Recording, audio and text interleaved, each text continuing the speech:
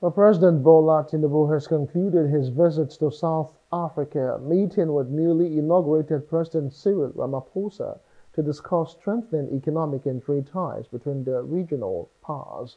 Tinubu had attended Ramaphosa's inauguration ceremony in Pretoria a day earlier before the two leaders sat down for bilateral talks. He praised Ramaphosa's warm welcome and dedication to mutual respect and cooperation which the Nigerian leader said reflects the depth of their relationship. The two presidents pledged to collaborate on developing robust trade and economic strategies to address the challenges facing their nations. Impressive outing, particularly forming a government of national unity to stabilize the polity. And that is coming at a very challenging time for the rest of us in Africa to really come up with collaborative economics that will help our downtrodden and vulnerable people.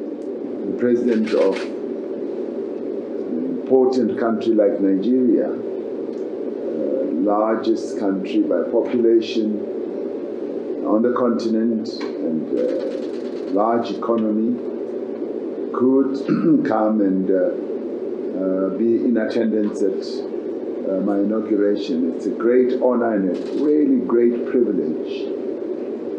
And I feel at home as well to have this moment to have a discussion with uh, President Tinubu on a whole range of issues.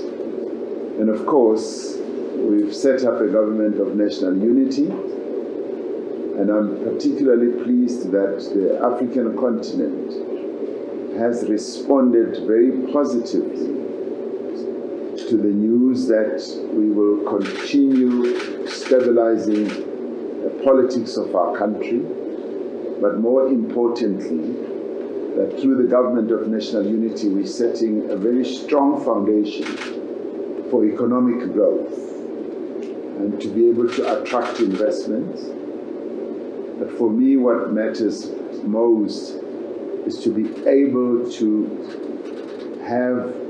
Hello. Hope you enjoyed the news. Please do subscribe to our YouTube channel and don't forget to hit the notification button so you get notified about fresh news updates.